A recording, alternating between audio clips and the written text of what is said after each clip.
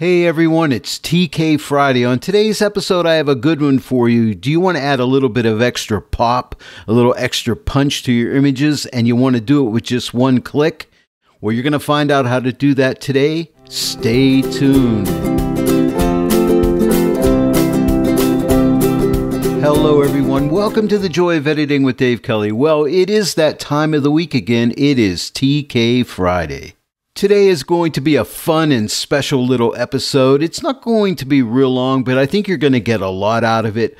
I'm going to teach you today how, with one simple click and maybe a couple little alterations along the way, you can add some extra pop extra punch to your images. It's going to be exciting, and we're going to use something inside of the TK7 combo or the TK7 CX, CX panel, whichever one you prefer to use. You get them both when you buy the TK7 uh, panels, and that is called an action called soft pop. Now, here's the definition for soft pop subtly enhances contrast, saturation, and sharpness to quickly add a bit of pop to any image. Oh, and by the way, please leave comments and questions. If you're not yet a subscriber to my channel, please subscribe, click the bell notification icon, all that kind of stuff. It helps me to grow my channel and it helps you to be notified when I put out new tutorials. And I really appreciate that. And also, if you want to purchase any of, of the TK7 panels or videos, you can click on my affiliate link in the uh, description below this video and use my promo code DK15 at checkout, and you'll save yourself an additional 15% off of anything on Tony Kuyper's product page. All right, then now let's get popping. So, what we want to do is add some pop and punch to our images. So, here's what we're going to do just uh, come to your TK7 either combo panel or CX panel, whichever one you choose. They're both the same, they just look a little different. And then look for the icon that says TK with the play symbol on it. Click that, and your actions will open up for you. Now, you'll notice I have soft pop highlighted in red. And I just wanted to give you a little tip here. If you want to, if you use an action a lot or several actions, you can color code them any color you want to so you could find them easier. And all you need to do is right click on any action and give it any color that you want. And then it'll be there for you next time. You won't have to hunt around for it. Well, then let's add some pop to this image. This is my own flower image. And as you can see here, I have this group here called pre-edits. And if I open it up, you can see I've added Topaz Sharpen AI to it. Uh, I I did uh, chromatic aberration uh, correction in Lightroom to it, but it still has some chromatic aberration in this area right here.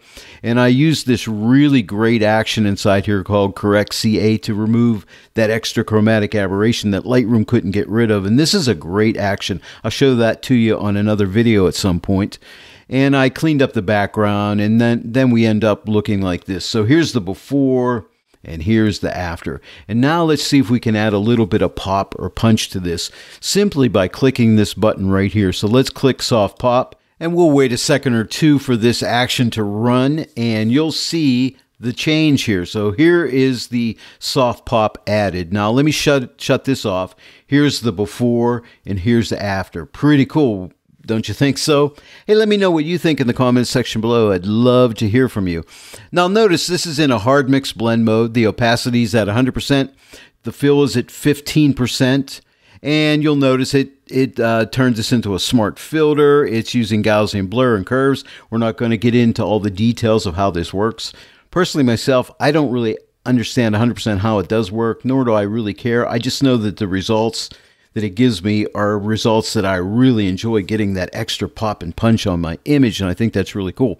But I just want to show you here, you can use this fill here to add more or less of the effect. Now I find I can get up to around 30 without getting weird uh, issues on the image and you can go back to the left of 15 just to ease back a little bit if you need to. I find the default setting of 15 is really good for most images, but there, there are some images where I need to add a little bit more, and you'll find out as I'm working today, I'll have a couple images where I'm going to add a little bit extra to get the desired result. Let's move on to the next example, and that is this image of some uh, tree roots. I really like these tree roots.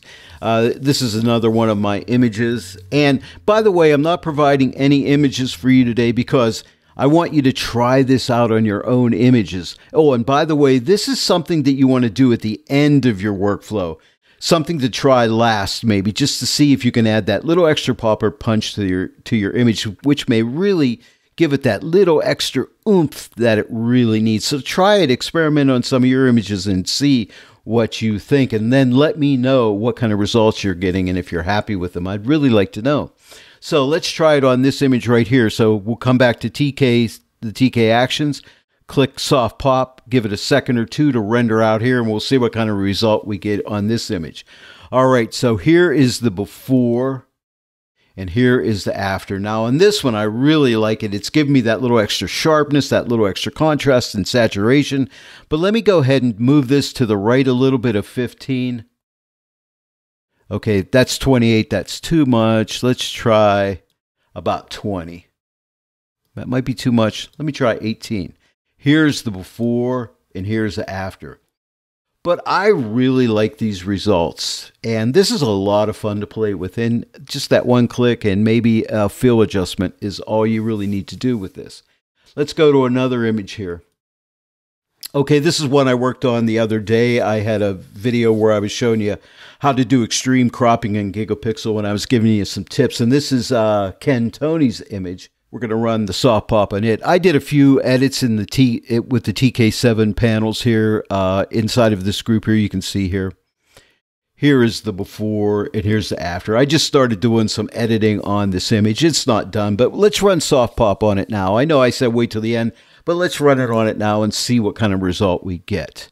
So let's go to the TK actions, click on soft pop and give it a second or two again. It'll do its little deal.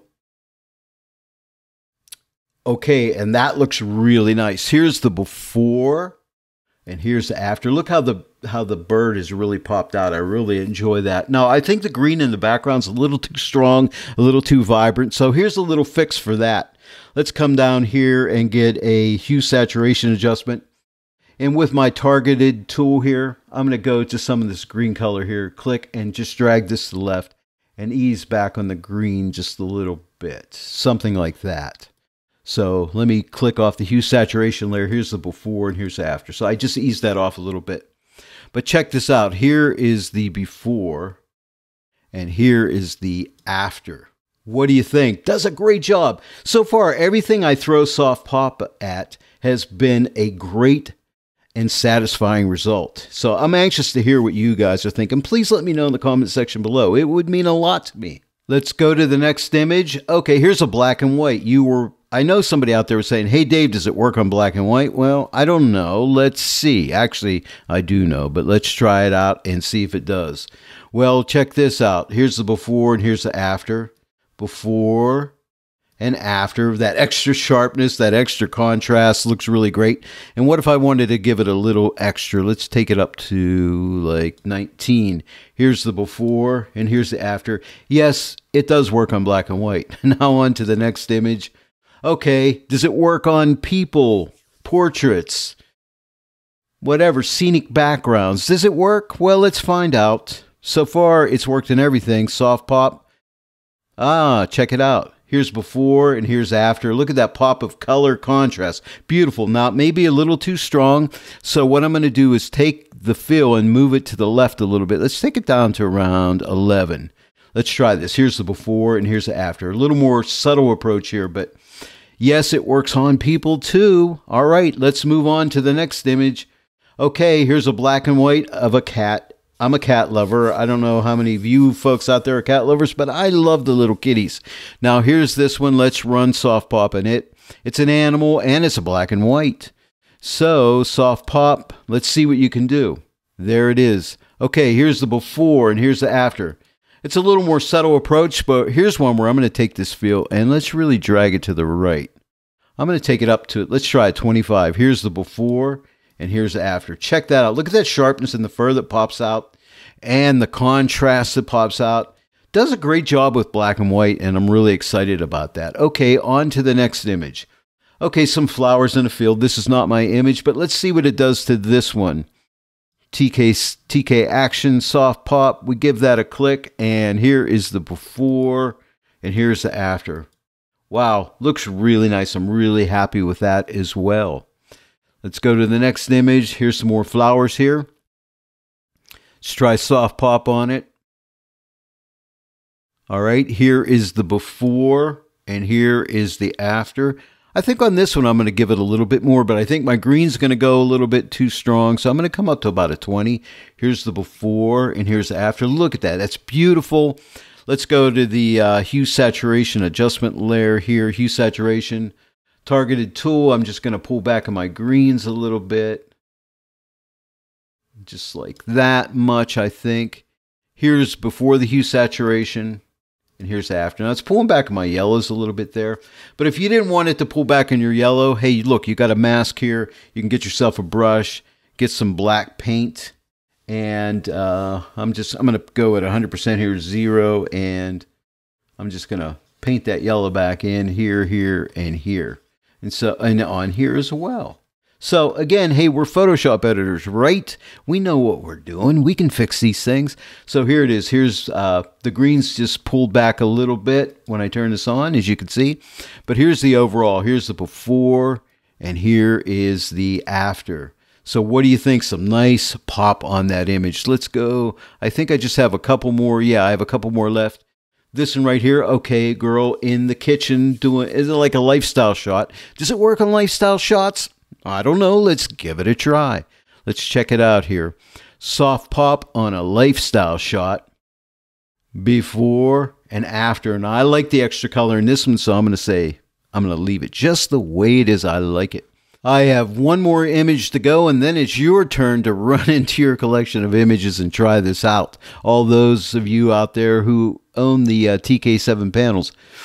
Uh, let's go here to the last image, some balloons. I want to end with some balloons, another stock image. And this one has some, you know, some artistic license taken in the color here. It's kind of like a less saturated image, but can we do something with this? with soft pop and still let it maintain its look. So let's try and see what we got.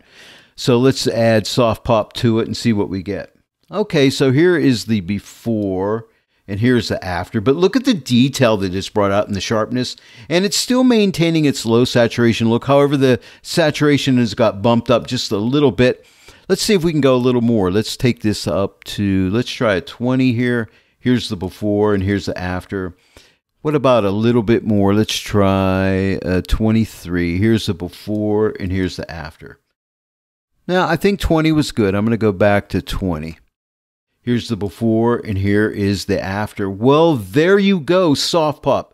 Definitely give this a try and get back to me. Let me know in the comments section below the video what you think of soft pop. If you enjoyed this video tutorial today, please give it a like, share it with your friends, and if you're not yet a subscriber to my channel, please subscribe, click that bell notification icon. Then every time I upload a new tutorial, you'll be notified about it.